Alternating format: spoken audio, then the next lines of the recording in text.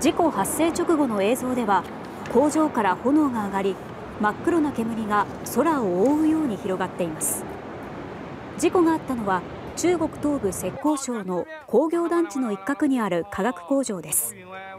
今日午前11時半ごろ突然爆発音とともに大規模な火災が発生しました。この化学工場は2006年に設立され硫酸や塩酸などを生産しています。中国では火災の通報番号から今日11月9日を全国消防の日と定めています。